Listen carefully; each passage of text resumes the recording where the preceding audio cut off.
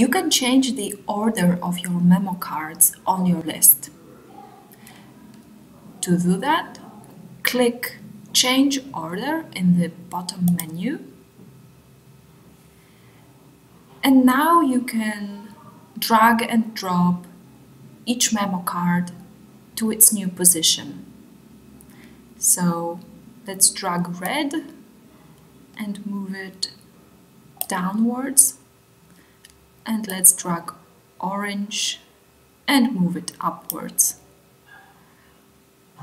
When you're ready, remember to click Save.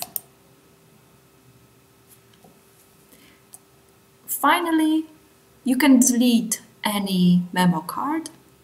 To do that, click on the delete icon next to the memo card that you want to delete. And the memo card has been deleted.